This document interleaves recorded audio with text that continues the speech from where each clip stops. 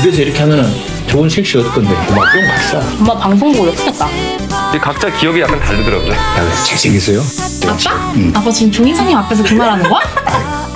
안녕하세요.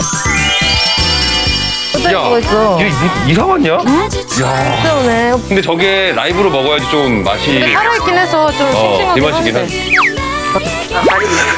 형님 먼저 들을. 오빠 여기 너무 자꾸 없어지는 것 같아. 아니야. 가만 있어. 永德生技虾红素叶黄素偶然成为社长，